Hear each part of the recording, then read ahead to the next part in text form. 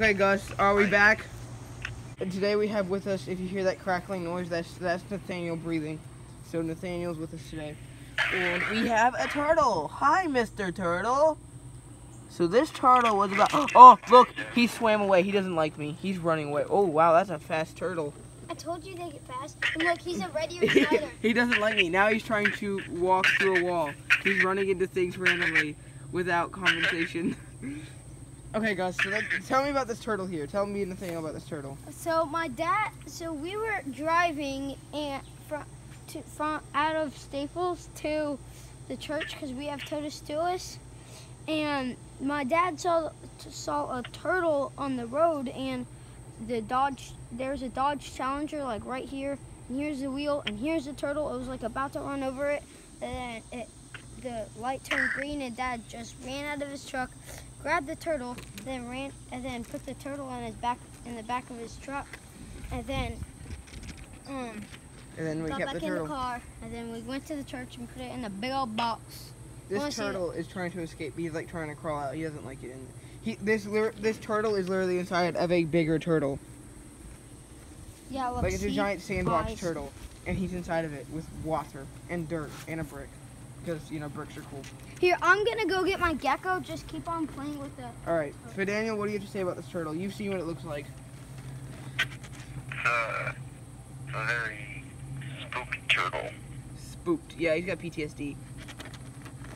Oof. Yeah. From the from from the picture I'm seeing, he is he's hiding and and there's food.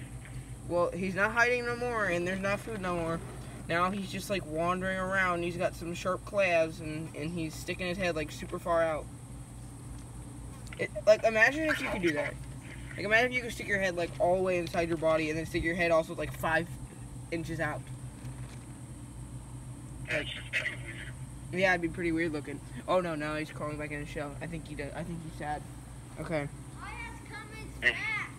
Oh, Gus has cometh back. We got. hey, we can okay, hear the turtle in here Oh, listen to the turtle. Listen.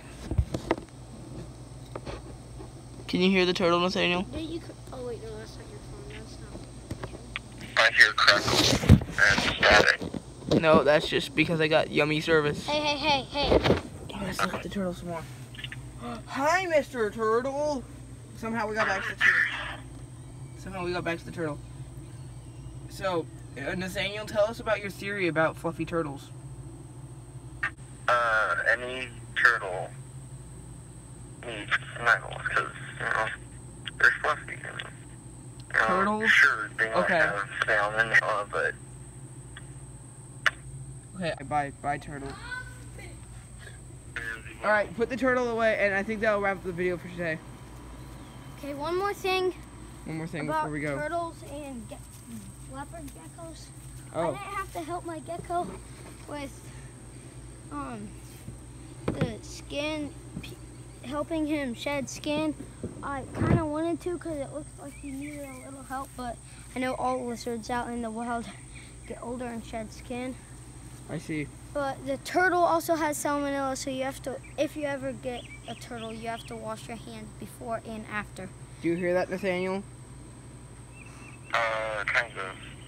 You don't hear what he's saying? He says, if say that again to Nathaniel. If they have, so they have salmonella on their shells and everywhere on them, which can make you very, very sick.